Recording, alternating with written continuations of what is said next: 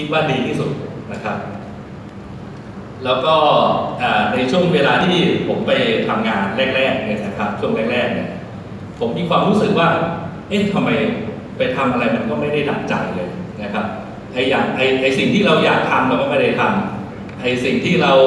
คิดว่ามันไม่เข้าท่าทำไมที่ทำงานทำอะไรเงี้ยมันมันมีความรู้สึกว่ามันค้านแล้วก็บางทีเราก็รู้สึกว่าเบื่อหน่าย เราก็เลยลาออกนะฮะลาออกแล้วเราก็ไปทำงานที่ใหม่ที่คิดว่าใช่ มันก็ไม่ใช่นะครับ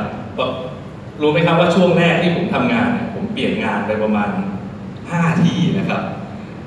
ในเวลาแค่สองเดือนนะครับมีใครทำลายสถิตินะครับแล้วก็ในช่วงเวลานั้นเองนะครับผมก็ได้มีเพื่อนของผมเนี่ยเพื่อนสนิทคนหนึ่งเข้ามาเป็นคริสเตียนนะครับ แล้วผมก็แปลกใจมากว่าเอ๊ะทำไมเขามาเป็นคริสเตียนนะครับ เขาแล้วก็มีสิ่งหนึ่งที่ผมงงมากก็คือว่าวันเสาร์วันอาทิตย์เนี่ยเราเคยนัดเจอง่ายๆเพื่อนนะฮะแต่ว่าพอหลังจากนั้นเนี่ยหลังจากที่เขาเป็นคริสเตียนแล้วเนี่ยเจอยากมากนะครับ เพราะวันอาทิตย์ต้องไปโบสถ์นะฮะแถมวันเสาร์บางทีก็ต้องไปไปรับใช้พระเจ้านะฮะผมก็เริ่มแปลกใจนะฮะแล้วก็สิ่งหนึ่งที่ผมเห็นก็คือว่าชีวิตเขาเปลี่ยนไปนะครับ เห็นว่า เวลาเราไปคุยอะไรเขาเนี่ยเขาความคิดความเห็นเขาเนี่ยมันมันเป็นผู้ใหญ่มีเห็นมีผลมากเลยเออเราก็เริ่มเอะใจแล้วแล้วในเวลานั้นเองช่วงเวลาที่ผมกำลังวุ่นวายสับสนชีวิตกับเรื่องเรื่องทำงานนะฮะคือผมเปลี่ยนงานจนผมรู้สึกขาดความมั่นใจไปเลยนะฮะตอนหลังๆเนี่ยเอ๊แล้วเราจะเอาดียังไงกับชีวิตนี้ มันเริ่มรู้สึกมาถึงจุดที่ว่า